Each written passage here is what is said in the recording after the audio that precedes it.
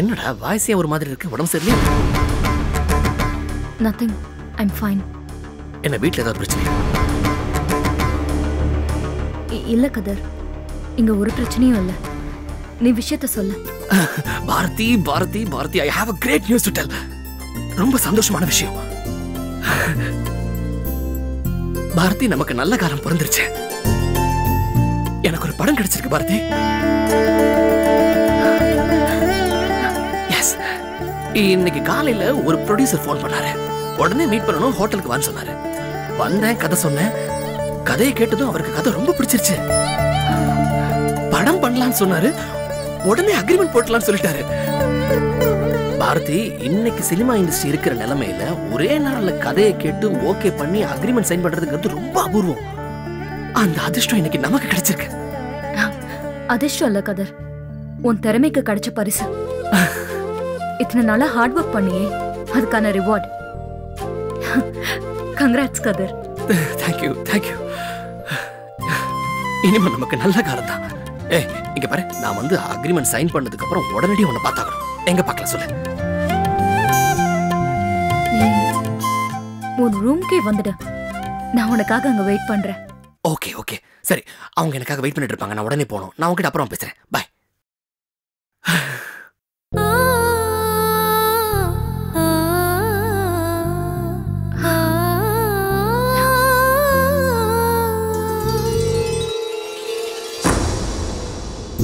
எங்கடா போனவன் காணோம் வருவான். சாரி சார் வாப்பா அதுக்குள்ள பேசி முடிச்சிட்டேன்? பேசிட்டேன் சார் என்ன? உனக்கு சினிமா சான்ஸ் கிடைச்ச விஷயத்த உன் காதலி கிட்ட சொன்னேன் கரெக்டா சார் கரெக்ட் சார் அது வந்து சார் நான் வந்து என்னுடைய சுக துக்கங்கள் ரெண்டையுமே உடனுக்குடன் அவகிட்ட ஷேர் பண்ணி ஆ, பாத்தியா? மேட் ஃபார் ஈச் அதர்ம்பாங்களே அந்த மாதிரி. உங்க ரெண்டு பேரையும் சேர்த்து வச்சு பார்க்கணும்பா. அதுக்கு முன்னாடி பட்ஜெட்டை பார்க்கணும். பார்க்கலாம் சார் ஆமாப்பா. பார்க்கலாம். வரும்போது எதுக்கும் இருக்கட்டும்னு இருக்கு ப்ரிப்பேர் பண்ணி கையோட எடுத்து தான் சார் வந்திருக்கேன். வெரி குட் இந்த இருக்கு சார். சார் இது வந்து ஒரு ரஃப் பட்ஜெட் தான். இதான் பட்ஜெட்டா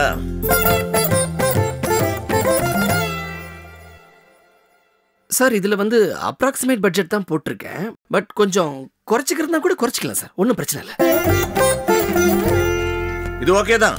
ஒன்றும் பிரச்சனை இல்ல. இதை விட ஜாஸ்தி செலவுனாலும் பரவாயில்ல. நான் எவ்வளவு வேணா ஃபைனான்ஸ் பண்றேன்.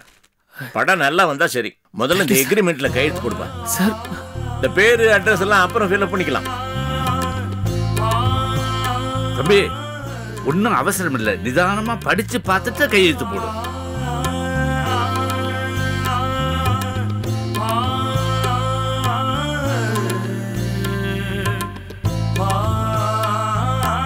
தம்பி சார்.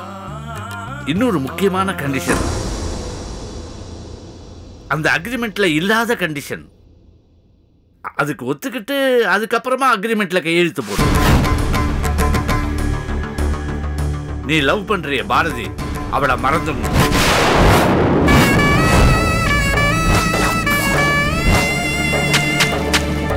இனிமே அவளை பார்க்கவோ பேசவோ கூடாது. ஏன்? உங்க காதலை இனிமே கண்டினியூ பண்ணவே கூடாது.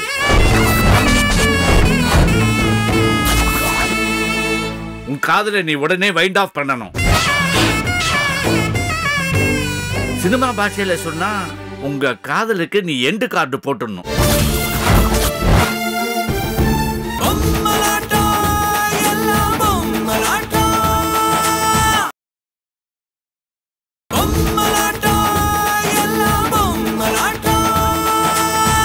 சினிமா பாஷையில சொன்னா உங்க காதலுக்கு நீ எண்டு கார்டு போட்டுடணும்.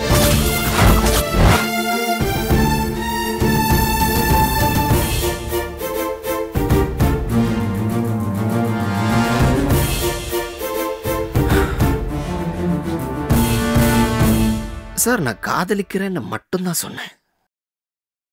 காதலிக்கிற பொண்ணுடைய பேரை சொல்லவே இல்லை. அது பாரதி தாங்கிறது உங்களுக்கு எப்படி தெரியும்? ஏன் தெரியாது? அந்த பாரதி தான் இவர் கம்பெனியில அஞ்சு வருஷமா ஒர்க் பண்றாளே.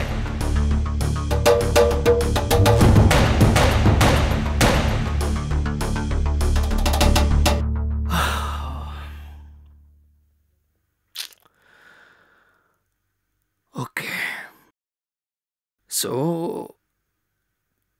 நீங்க தான் மிஸ்டர் சிதம்பரம் ரைட் தம்பி எங்க கண்டிஷனுக்கு ஓகே தானே? இது ஒரு லாட்டரி அடிச்ச மாதிரி கோல்டன் சாய்ஸ் கிடைச்ச சந்தர்ப்பத்தை பயன்படுத்திக்கிறதுக்கு சினிமாக்காரங்களுக்கு சொல்லியா தரணும்.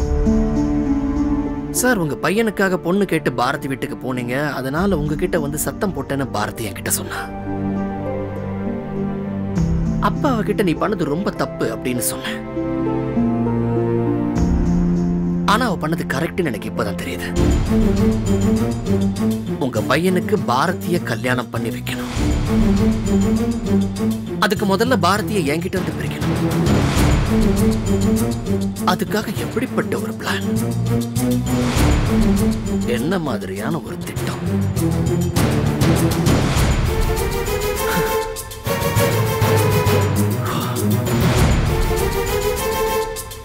உங்கள மாதிரி ஆட்களை தான் சினிமால வர அப்பா மாதிரி அப்படின்னு பப்ளிக்லாம் சொல்லுவாங்க. ஏன் சார் இருக்கீங்க? தம்பி உனக்கு படம் பண்ணணுமா வேண்டாமா? எங்க கண்டிஷனுக்கு ஒத்துக்கலைன்னா உனக்கு படம் கிடையாது. தம்பி பாரதிய மறந்துட்டு பேசாம அக்ரிமெண்ட்ல கையெழுத்து போடு. நாளைக்கு நீ ஜெயிச்சேன்னா சினிமா ஹீரோயினே உனக்கு கிடைப்பாளே. காதல விலை பேசுற உங்கள மாதிரி ஆட்கள் கிட்ட போய் நான் என் கதைய அதுவும் ஒரு நல்ல கதையை இவ்வளவு நேரம் நரேட் பண்ணனேன்னு வெக்கப்படுறேன். என் மகனுக்காக பாரதியை என்னை விட்டு கொடுத்துருன்னு நீங்க கேட்டிருந்தீங்கன்னா ஒருவேளை நான் கொஞ்சம் யோசிச்சிருப்பேன். பட் என் பாரதிய வேலை பேசிட்டீங்களே சார் என் பாரதிய நான் விற்க மாட்டேன். சார் படம் பண்ணி ஜெயிக்கணுங்கிறது வந்து என்னுடைய லட்சியம். ஆனா பாரதி என் வாழ்க்கை வாழ்க்கையை தொலைச்சிட்டு லட்சியத்துல ஜெயிச்சு எந்த பிரயோஜனமும் கிடையாது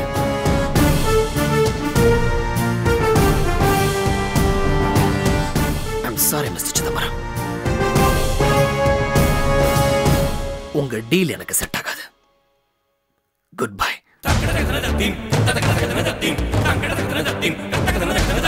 సరిగమపదని సరిగమ గిరిసని దబమ గిరిసని సరిగమ.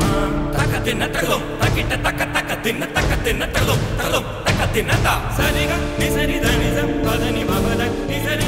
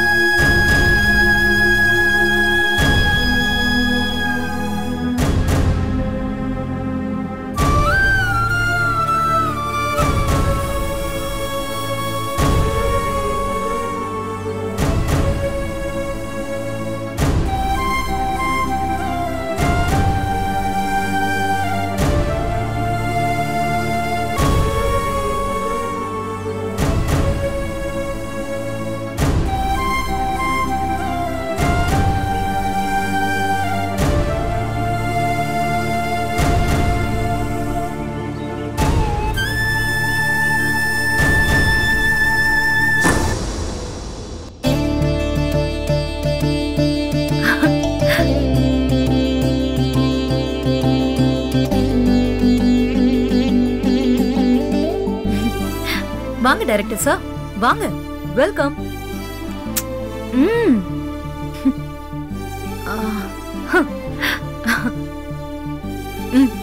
கேக் கட் பண்ணு. எதுக்கு பாரதி இதெல்லாம்? எதுக்கா? ஹம் டைரக்டர் ஆகணுங்கிறது உன் கனவு. எத்தனை வருஷ போராட்டம்? நீ இன்னைக்கு ஜெயிச்சிட்டியே. அதை நம்ம செலிப்ரேட் பண்ண வேண்டாமா? எனக்கு படம் கிடைச்சிடுச்சு ப்ரொடியூசர் ஓகே சொல்லிட்டாருன்னு நீ எனக்கு ஃபோன் பண்ணி அந்த விஷயத்த சொன்ன நிமிஷத்துல இருந்து நான் எவ்வளவு எக்ஸைட்டடா இருக்கேன் தெரியுமா? கமான் கேக் வெட்டு. கதிர்.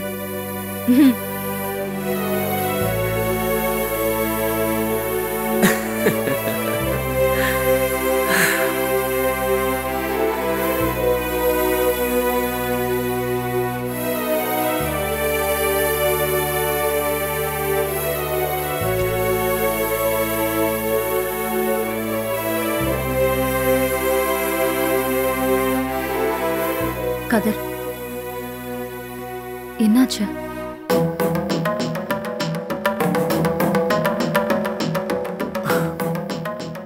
பாரதி நான் இந்த படத்தை ஒத்துக்கல. வேண்டான்னு சொல்லிட்டேன். அந்த ப்ரொடியூசர் தேவையில்லாத இடத்துல பாட்டு ஃபைட் ஏதாவது கேட்டாரா? நீ சொன்ன பட்ஜெட் அதிகம்னு சொன்னாரா? இல்ல. பட்ஜெட்லாம் ஒன்றும் பிரச்சனை இல்லை. கேட்டதுக்கு மேலேயே செலவு பண்றேன்னு சொன்னாரு. ஹோ வழக்கம் போல கதையில காம்ப்ரமைஸ் பண்ண சொல்லி கேட்டிருப்பாரு. நீ முடியாதுன்னு சொல்லிட்ட? கதையில அவர் காம்ப்ரமைஸ் பண்ண சொல்லல. வாழ்க்கையில காம்ப்ரமைஸ் பண்ணிக்க சொன்னாரு. வாழ்க்கையிலையா? என்ன காம்ப்ரமைஸ் நான் என் காதல மறக்கணுமா? அதாவது ஒண்ணு. நான் என் காதல விட்டு கொடுத்தா இந்த படத்தை உடனே ஆரம்பிச்சிடலாம் சொன்னாரு. ஹே என்ன காமெடி பண்றியா? படத்துக்கும் நீ என்ன காதலிக்கிறதுக்கும் என்ன சம்பந்தம்? அந்த ப்ரொடியூசர் என்ன லூசா? சரி உங்களோட டீல் எனக்கு ரொம்ப பிடிச்சிருக்கு நான் ஒத்துக்கிறேன்னு சொல்லி உடனே இந்த ஆஃபரை அக்செப்ட் பண்ணிருக்கலாம்ல. டைரக்ஷன் சான்ஸ் கிடைக்கிறது என்ன அவ்வளவு சுலபமா?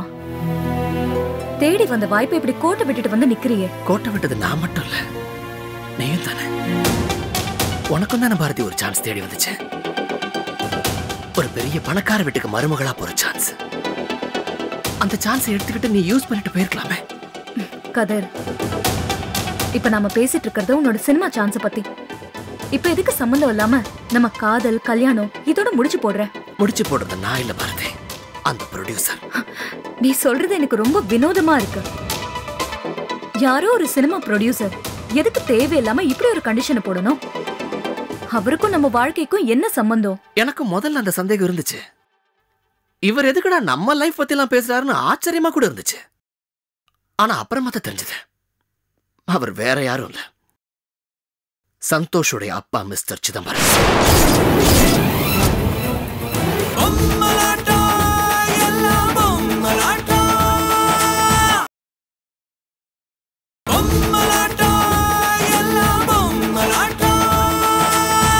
அவர் வேற யாரும் இல்ல. சந்தோஷுடைய அப்பா மிஸ்டர் சிதம்பரம். எஸ் பாரதி அன்னைக்கு உங்க வீட்டுக்கு உன்னை பொண்ணு கேட்டு வந்தவர் தான். இன்னைக்கு இந்த படம் எடுக்க சொல்லி கேட்டு வந்தார். அவரா சிதம்பரம் சார் படம் ப்ரொடியூஸ் பண்றேன்னு சொன்னாரா? நானும் முதல்ல அவரை பார்த்த உடனே ஏதோ புது ப்ரொடியூசர் தான் நினைச்சேன். ஆனா அதுக்கு அப்புறமா தான் தெரிஞ்சது. அவர் சினிமா ப்ரொடியூசர் இல்ல ஒரு பிசினஸ் மேன் ஒரு வியாபாரின்னு. அவர் ஏன் இவ்ளோ கீழ்த்தரமா நடந்துக்கிறாரு? இத்தனைக்கும் நான் அவரை சந்திச்சு என் முடிவை தீர்மானமா சொல்லிட்டு வந்திருக்கேன். பணம் பங்களா இதுக்கெல்லாம் நான் மயங்கலன்னு தெரிஞ்சு இப்போ உனக்கு டைரக்ஷன் சான்ஸ் கொடுத்து உனக்கு தூண்டல் வீச பார்த்திருக்காரு. கதிர் இந்த விஷயத்துக்கு நம்ம உடனே ஒரு முற்றுப்புள்ளி வச்சாகணும். நாம இன்னைக்கே என் வீட்டுக்கு போறோம். என் வீட்டுல இருக்கிற எல்லாருக்கும் உன்னை அறிமுகப்படுத்த போறேன்.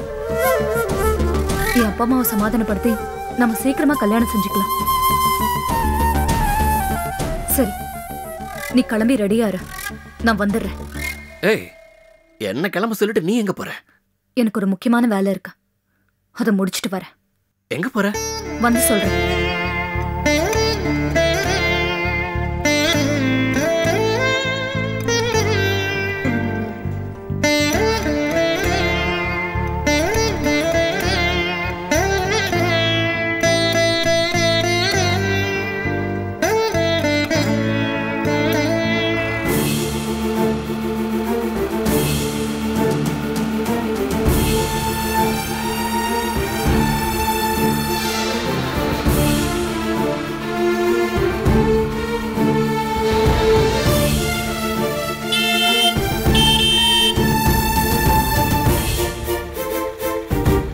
யாரை பார்க்கணும் மேடம்.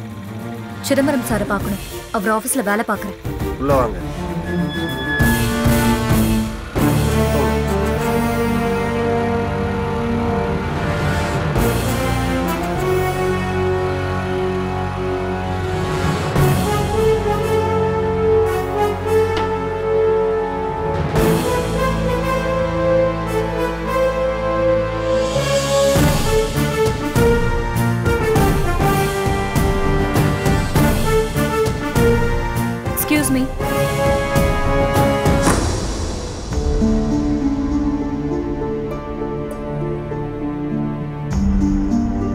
சிதம்பரம் சார் இருக்காரா? நான் அவரை பார்க்கணும். இருக்காரு. ஆமா நீங்க யாரு? பாரதின்னு போய் சொல்லுங்க. அவருக்கு தெரியும். சரி உள்ள வாங்க. நீங்க இப்படி உட்காருங்க. நான் போய் கேட்டு வந்துடுறேன்.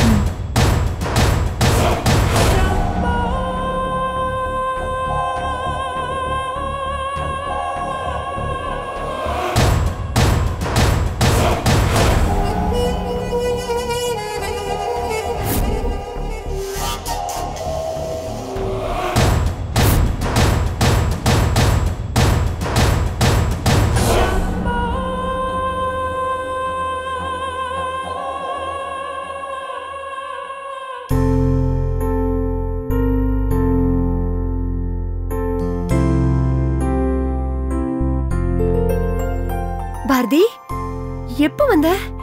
ஏன் நிக்கிற? உட்காரு ஏதா சாப்பிடுறியா? என்ன கொண்டு வரட்டும்? இல்ல நான் சிதம்பரம் சாரை பார்க்க வந்தேன். ஏன்? உனக்கு நாங்கெல்லாம் முக்கியம் இல்லையா? எங்களெல்லாம் பார்க்க வர மாட்டியா எங்க கிட்ட பேச மாட்டியா இல்ல. அன்னைக்கு எவ்வளவு ஆசையா நம்பிக்கையா உங்க வீட்டுக்கு வந்தோம். எனக்கு பெரிய ஏமாற்றம் தான். ஆனா வருத்தம்லாம் இல்ல. எங்களுக்கு அதிர்ஷ்டம் இல்ல. எங்க சந்தோஷ் கொடுத்து வச்சது அவ்வளவுதான். ஐயா மேல இருக்காரு. உங்களை வர சொன்னாரு. சரி பாரதி. நீ போய் அவரை பார்த்துட்டு வா. ம்.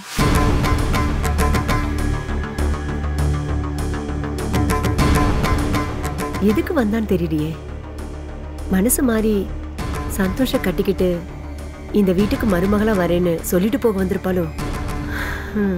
ஆண்டவன் மனசு வச்சா அதுவும் நடக்கும்.